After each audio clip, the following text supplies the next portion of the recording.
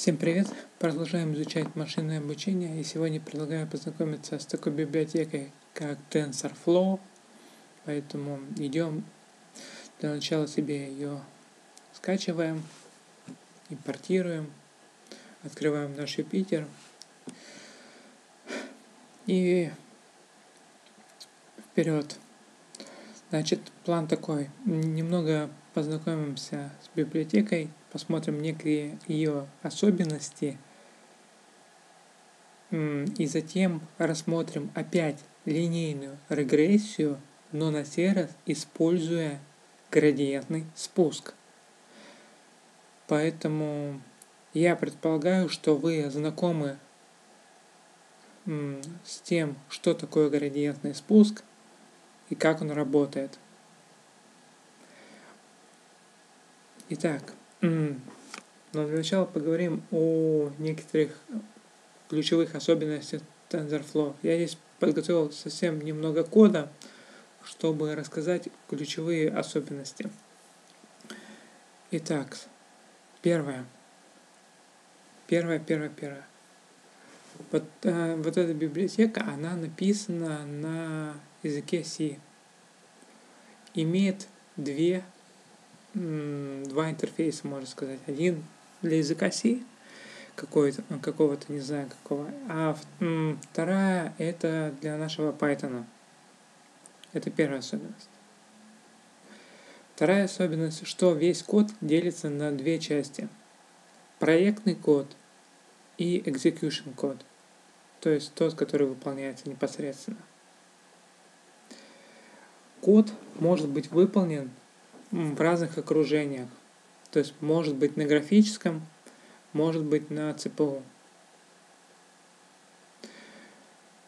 Поскольку эта библиотека уже достаточно зрелая, она очень популярная. То есть зайдите на GitHub, посмотрите, сколько у них коммитеров, лайкеров и всего прочего. Очень, очень большое количество. Поэтому уже существует всякого рода удобные облачные окружения, куда вы можете закинуть, запустить ваш код. Дальше поехали. Tensor, вот TensorFlow, да, вот прямо из названия идет нам ключевая абстракция, которую мы используем, когда мы задействуем данную библиотеку. Это тензоры. Тензоры это очень похожи на матрицы, только плюс еще n дополнительных измерений. То есть матрица это два измерения, а тензоры, ну мы как правило будем в трехмерном измерении работать, в больших особо смысла нет, но имейте в виду, что тензор это уже более общее такое понятие. То есть как матрица упрощается до вектора и точки, так и тензор упрощается до матрицы, до точки, до вектора. Это более общая абстракция. И с, с ней те же самые вещи вас, пос, э, делаются, что и с матрицей. Каким образом записывается? Записывается в очень похожем стиле, как в NumPy мы определяем, так и здесь. Но есть существенная разница. Когда я вот э, сделал вот э, объявил вот эту переменную, да, от NumPy, и если я ее выполню, скажем так, отпечатаю, да, то я увижу сразу результат. Но если я попытаюсь то же самое сделать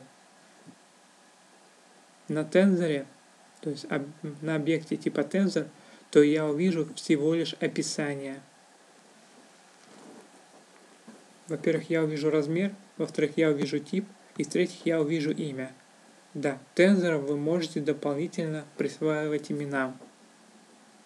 Имена, например, удобно использовать, если вы предварительно сохранили на диск ваши вычисления, а затем через некоторое время снова поднимаете ваши вычисления. Вот здесь имена вам, в принципе, могут помочь. То есть название переменных у вас будет другим, когда вы восстанавливаете, а пере... благодаря переменным вы сможете успешно восстановить. Так. Ну так, вот, теперь возвращаемся дальше. То есть у нас здесь отпечаталось всего лишь некое, некое описание. То есть не выполнился код, как вот у, у NumPy, да, а всего лишь отдалось какое-то описание. И вот это то, о чем я говорил. То есть код делится на две большие части. На проектный и на execution код. Чтобы тензор наш все-таки выполнить, мы должны воспользоваться такой абстракцией, как сессия. В сессии мы превращаем наш проектный код в исполняемый. То есть там все и вся магия это происходит. То есть мы предварительно должны создать некий граф вычислений. И этот граф вычислений будет выполнен из сессии. Сессия определяет те аппаратные средства, например, где будут выполнены. Также там можно с параллельностью побаловаться. И еще дополнительные возможности. Например, логирование. Ладно. Каким же образом мы запускаем? Хотя давайте я все же немножечко тормозну и а, так.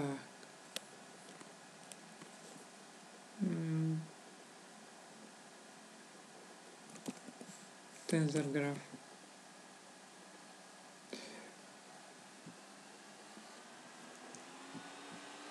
То есть вот такая картинка. То есть, когда мы описываем наш код, а, вернее, делаем проектный наш код, да, по сути дела, мы описываем граф. И из чего этот граф предстоит? Узлами здесь операции, а стрелочками это наш, наши данные, которые катятся от одной операции к другой. И до тех пор, пока не сведем к какой-то конечной операции, и которая нам в итоге будет отдавать ответ. Естественно, данные к операциям мы передаем какие-то переменные, инициализирующие, начальные, от которых мы, собственно, и пляшем.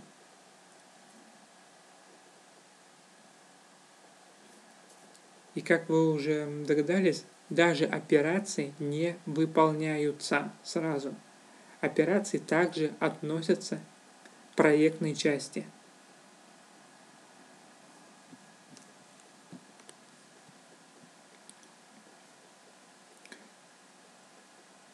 Так, где у меня здесь пример? Вот, например, а, tf суммирую тензор и число. То есть вот это вот ад, это тоже тензор, который мне нужно выполнить. Ладно, теперь давайте все же, как выполнять. Выполняется следующим образом. Мы берем наш объект сессию, берем midtrun и в него передаем тот тензор, который мы хотим выполнить. Повторюсь, тензор – это широкое такое понятие в данном случае. Это может быть операция, по большому счету, над чем-то, либо непосредственно объект тензор, то есть уже конечная, ну, матрица, например. Ну, тензор в общем случае. Либо второй вариант – воспользоваться методом eval. То есть у каждого объекта типа tensor есть метод eval. Мы его можем запускать только в окружении сессии. То есть нужно опять выезд. Например, если вы не хотите закрывать сессию самостоятельно, то оборачиваем вверх и там запускаем. Хорошо. Дальше поехали. Если мы вот посмотрим, вот здесь я использовал констант. И это наталкивает, что здесь есть разные типы вариа а, переменных. И да, здесь есть разные типы вариантов переменных. Первый тип это константы. То есть один раз объявили, и они не изменяются. Второй тип это переменные. Это то, что мы меняем. Интересный три, те, э, третий тип – это некий placeholder. Placeholder – все, что нам нужно, там главное определить, это какого типа будет переменная. А затем мы ее можем активно использовать вот в нашем, э, в нашем описании есть в составлении нашего графа. И лишь когда мы затем вызовем сессию, мы наполним этот placeholder конкретным значением. То есть константы и variable мы инициализируем сразу, то есть вот так вот явно передаем. А placeholder мы можем не инициализировать, то есть просто оставить здесь пустое значение – просто э, сказать какого типа и все. Заполнил мы чуть позже. Где placeholder используются? Например, мы какой-нибудь пишем алгоритм, пока описываем просто поток. То есть э, описываем вот наш граф. А заполним мы уже когда подгрузим наши данные – то есть наши, наши, вот э, какую-нибудь табличку.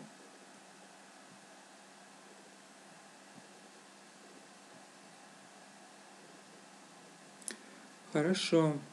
Так, что здесь еще интересного? Так, если вам все же нужен результат переменной, да, результат, результат э, работы тензора – то мы его запускаем в сессии и сохраняем какую-нибудь переменную. И затем мы эту переменную можем активно использовать.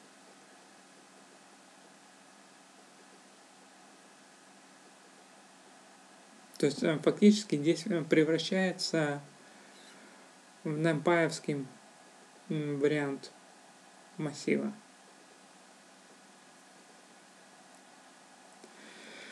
Так, а сейчас я вам в качестве практики, то есть вот некие основные идеи э, данной библиотеки я рассказал.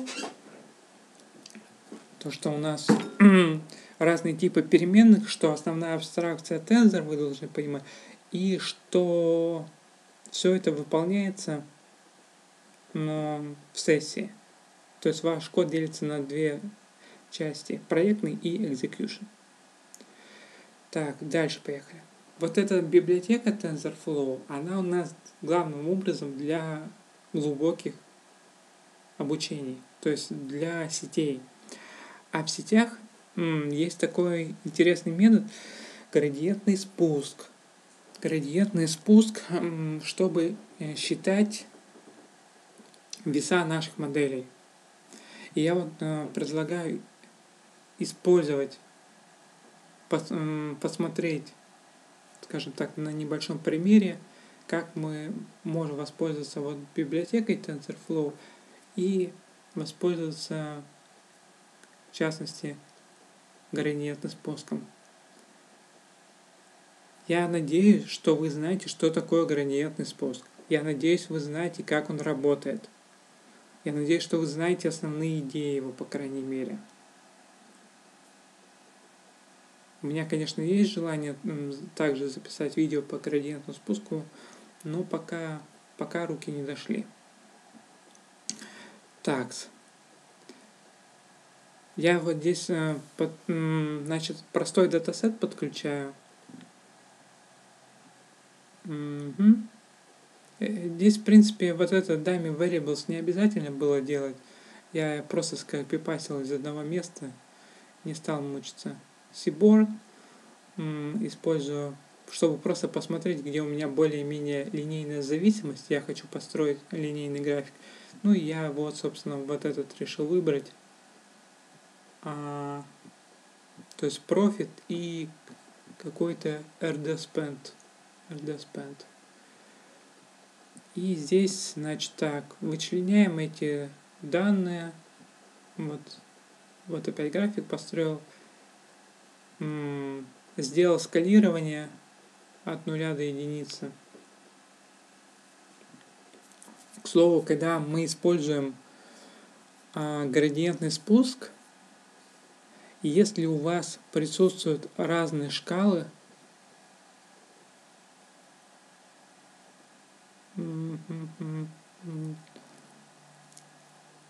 хотя у меня здесь вроде как... А, ой, одна шкала.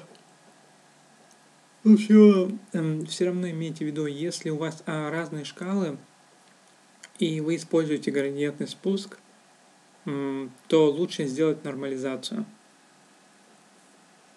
Собственно, по этой причине я и сделал нормализацию.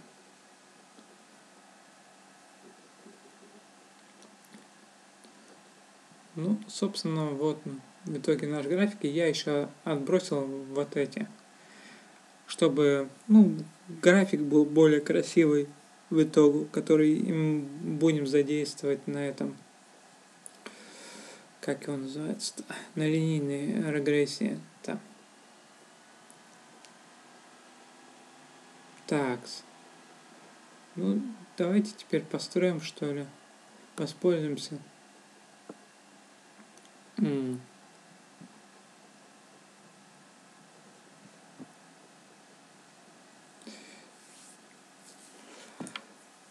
Так. Градиентный спуск. Как мы знаем, это итеративный процесс. Веса, которые мы будем использовать при построении модели, они будут вычисляться итеративно, как вы должны знать. Поэтому первую переменную, которую нужно будет завести, это тренинг эпох тренинг эпох например ну пусть будет 250 то есть 250 итеративных процессов. Второй важный это у нас скажем так гиперпараметры Второй важный составляющий это является learning rate, то есть эм, размер шага.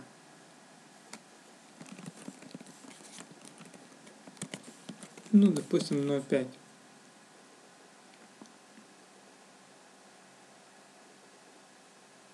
Сделали, да? Это наши гиперпараметры, которые мы будем применять к нашему градиентному спуску.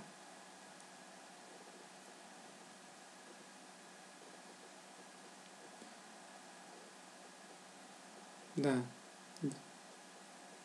Я еще забыл сказать, но я все же предполагаю, что линейную регрессию вы тоже знаете. А, к чему мы стремимся? Я вроде бы это не говорил, но линейная регрессия так часто встречается, это как некий hello world даже. По идее, если вы хоть немного покопались в мире Science, в этот, в этот вы точно должны знать. Ладно. Теперь к чему мы стремимся? К чему мы стремимся? Мы стремимся вот найти вот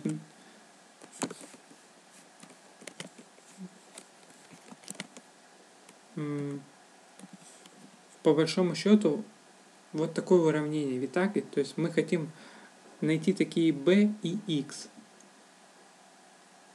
Давайте объявим их. То есть это наши переменные, которые мы будем находить с помощью градиентного спуска, с помощью нашего итеративного процесса. Для этого воспользуемся нашим TensorFlow, объявим их как переменные и передадим значения. Значения могут быть ну, любыми, в принципе, но лучше делайте их в каком-то диапазоне, в котором у вас сами вот эти переменные вращаются. То есть не нужно ставить, когда у вас все крутится вокруг единицы нулей, нулей, то есть э, ваши данные, а вы пишете здесь 10 миллионов. Не надо так делать. Но переменные, в принципе, у значения можно любыми. То есть мы сейчас выбираем, скажем так, некую стартовую точку. Некую стартовую точку, от которой мы будем считать.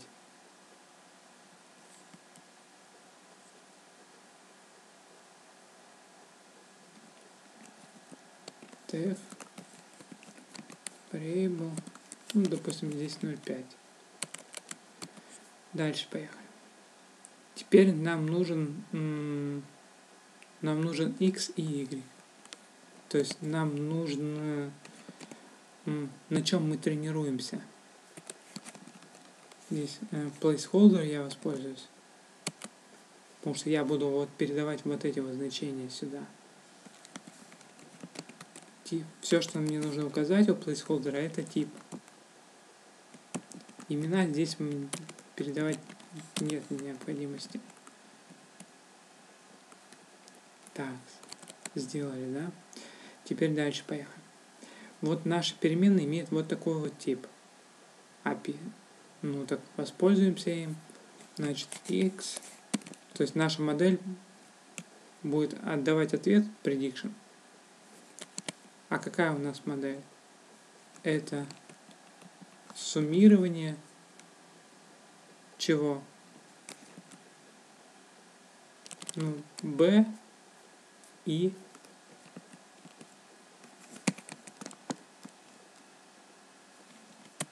и и и вот это вот коэффициенты v и примера, на котором мы обучаемся. То есть э, мы получим вот здесь y prediction. Зачем мне этот prediction? Чтобы найти, найти минимум вот данной функции. Вот, э, вот данной функции. К слову, слайд э, взят с лекции Эндрю Энджи по машинному обучению есть курс. То есть я пытаюсь вот сейчас вот эту функцию использовать в моем э, методе градиентного спуска. То есть, используя градиентный спуск, идею градиентного спуска, я пытаюсь найти минимум вот в этой функции. Так и пишу. То есть мне нужен cost reduce sum tfpov.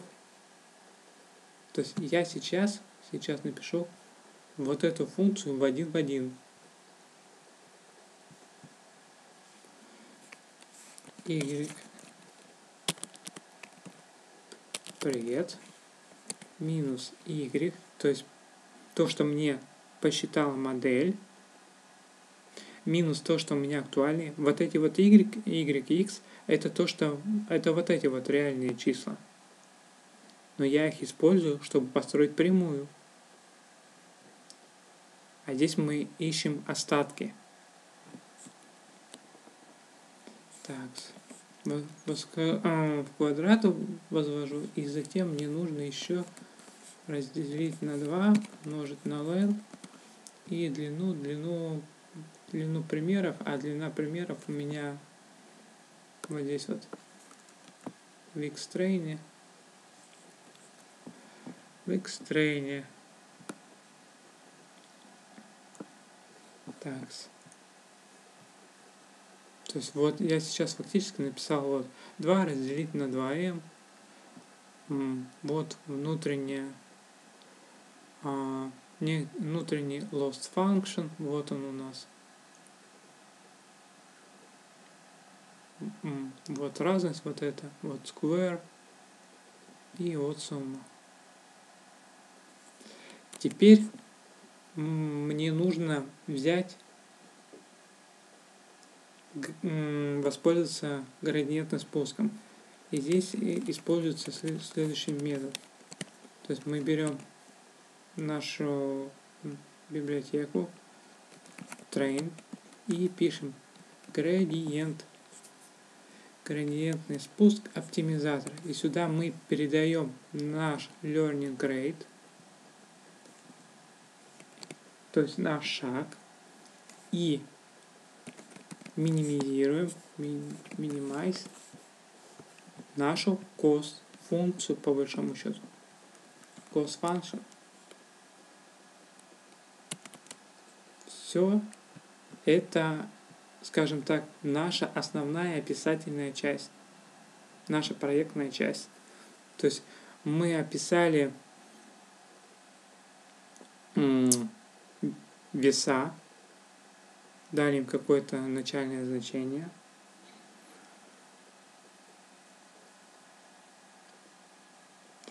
А, а, от которых мы будем спускаться в точку минимума ну или искать локальный минимум.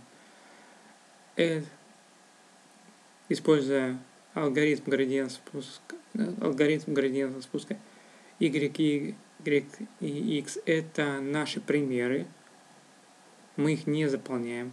Мы используем как placeholder. Дальше мы знаем, какая у нас модель, вот наше уравнение – в итоге построится. Давайте ее посчитаем. И затем мы строим наш cost function. И используя градиентный спуск, мы пытаемся найти минимум вот у данной функции. То есть по большому счету мы попытаемся найти вот эти вот v и p то есть смещение и веса. Bias and weight. Окей, поехали. Теперь начнем наш execution код писать. Для этого сессию объявляем. Объявляем сессию. Давайте я сразу ее закрою. Хотя не, не, не здесь закрою. Инициализирую. Глобальные переменные значит global а, запускаю их и теперь давайте уже работать с нашим градиентным спуском. Для каждой эпохи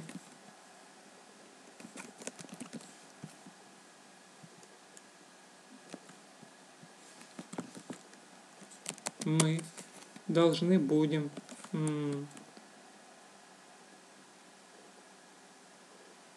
перебирать э, каждый элемент из нашей выборки, из нашей базы данных, помощью которого мы будем э, пытаться обновлять параметры модели.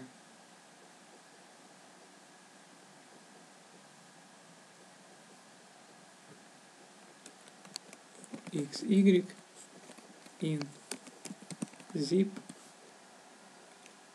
А, здесь я использую вот, вот наши вот тренировочные данные x train y train и здесь мне просто надо взять сессию запустить что я хочу чтобы у меня выполнилось я хочу чтобы вот это вот а, вот этот объект тензор выполнялся. То есть фактически, чтобы вот этот градиентный спуск работал. Так, я пишу train, train, оп. Но на чем он у меня работает? Он у меня работает, используя выборку. Соответственно, я должен передать вот эти примеры. feed, э, dict, ну, собственно, x. Это у меня будет x, то есть я взял вот отсюда. А y это y.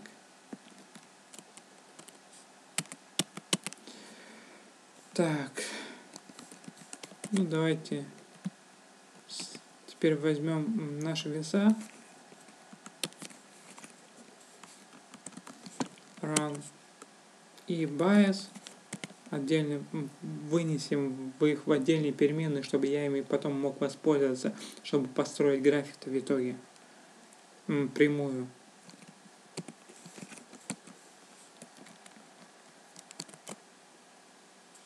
Так, какую-то ошибку.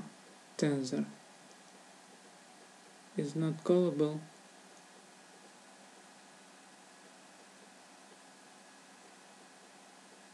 А, здесь я забыл это. Деление, конечно же. Так, опять тут что-то задеприкейчено. Ладно, пока это оставлю. Все же я смотрю немножечко другую идею.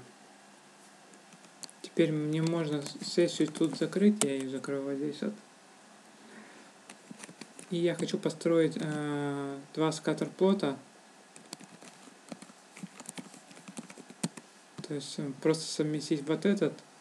И на него я хочу нанести ту линию.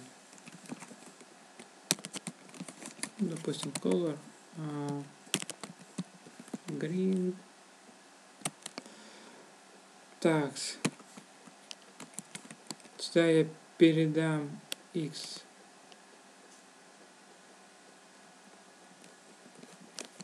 xlearn. То есть у меня же вот эти веса, они здесь, а, в итоге-то они обновились благодаря вот этому вот обучению. Соответственно, что тут? Мне просто надо взять bias плюс weight умножить на что? На x-train. То есть на тот вектор, который у меня там был. Ну и давайте просто отобразим. Y learned. Так, Y. Y learned. И, ну, допустим, color. Color пусть будет blue. Так.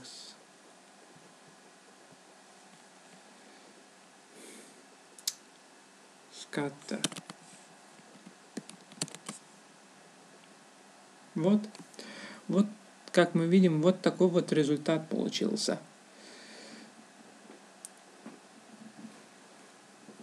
То есть очень-очень похоже на правду.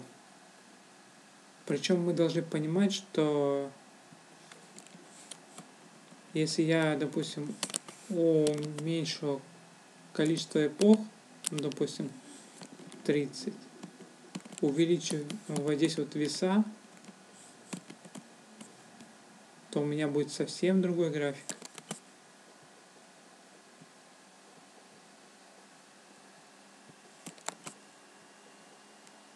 Вот видите, все очень-очень далеко от правды. Поэтому эпох должно быть достаточно много, То есть алгоритм вот ваш итеративный, когда он пытается найти соответствующие веса, он должен отработать не раз, не два, а хоть какое-нибудь меняемое количество раз. Видите, как все печально.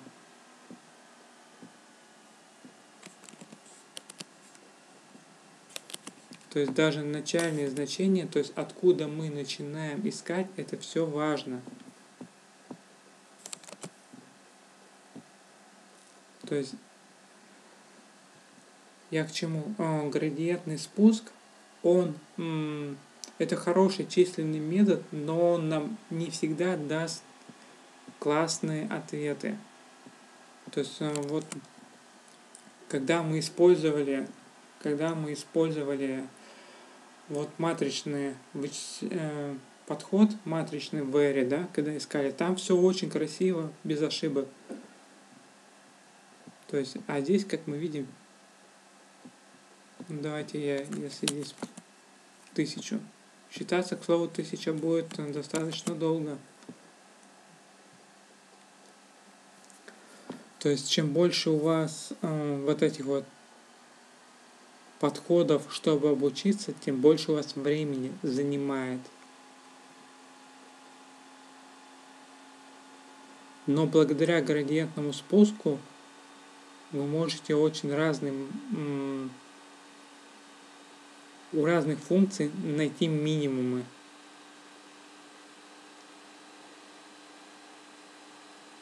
То есть, скажем так, может э, задачу решить более в общем виде. Вот видите, уже просто большее количество итераций показало весьма неплохой результат.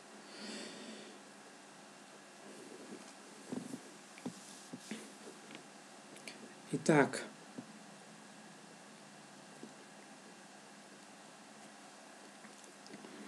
давайте пробежимся по основным идеям. По основным идеям. То есть нам нужно объявить гиперпараметры для нашего, как его называется-то, алгоритма градиентного спуска. Дальше нам нужно определить э, веса. Я здесь отдельно разделил веса и bias. Можно было бы все вместе. И им дать какие-то начальные значения. То есть это, по сути дела, точка, с которой мы начинаем искать локальный минимум.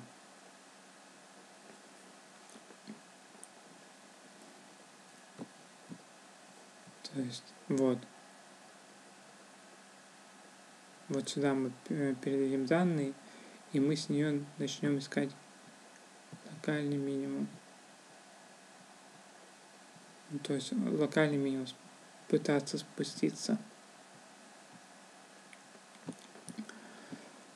Дальше нам нужна выборка, то есть на чем мы обучаемся.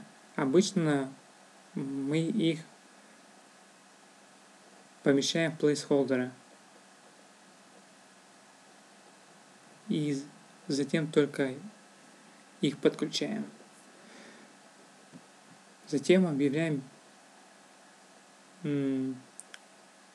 такую переменную y_pred. Это то, что нам модель возвращает.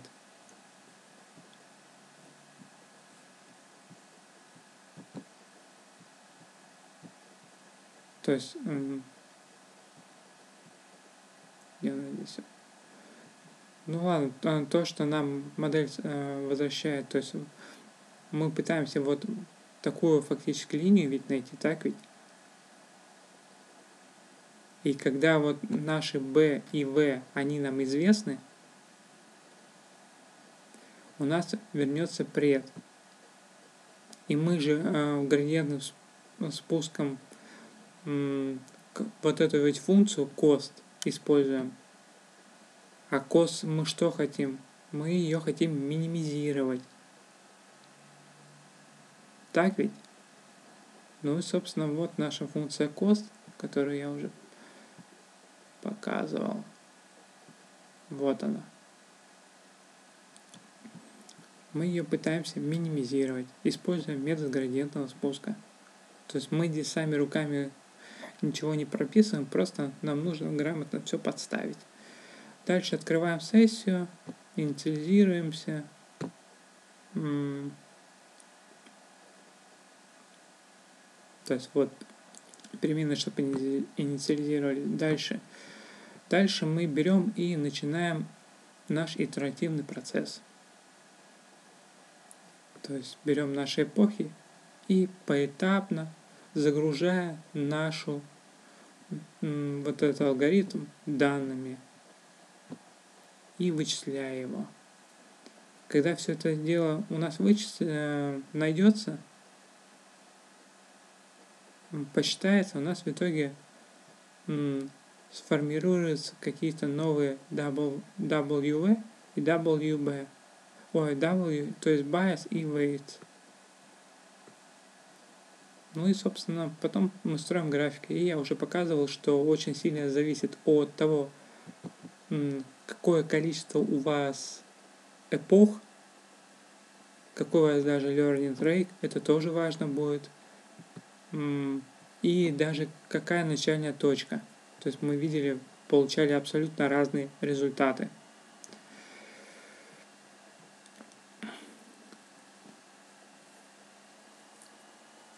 Так. Ну, пожалуй, вот на этом я знакомство с Tensor Flows предлагаю закончить.